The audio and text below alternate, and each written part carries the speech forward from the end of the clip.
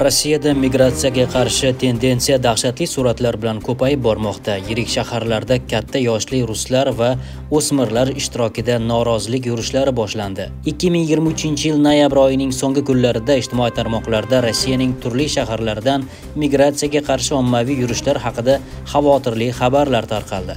Masalan 2023 yilning 29 noyabr kuni voronejda yoshlar mamlakatda migratsiya siyosatini kuchaytirishni talab qilingan shiorlarni baqirib namoyish o'tkazdi. Samarada patrul rossiya harakati shahar hokimiyati bilan kelishilgan tadbirlar migratsiyaga qarshi rus marshi va viloyat hukumati binosi oldida miting tashkil qildi deya o'zining vk sahifasida xabar bergan harakat rahbari Daniil golovanov shuningdek Chumenda tartibsiz guruhlarda to'plangan o'smirlar ko'chalarda migrantlar kelishiga qarshi shiorlar aytib baqirishgan edi. Bundan tashqari rossiya federatsiyasi ichki ishlar vazirligi moskva va sankt peterburg chekkalarida migrantlarga qarshilik ko'rsatish maqsadida mahalliy aholidan xalq otryadlari tuzilganini qayd etgan. Bu kabi ruslarning barchasini rossiya ruslar uchun umumiy shiori birlashtiradi.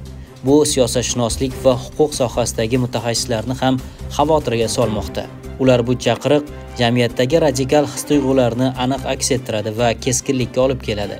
Yurish va marshlar sonining ortib borishi rossiyaning adekvat migratsiya va milliy siyosatining yo'qligi natijasidir demoqda.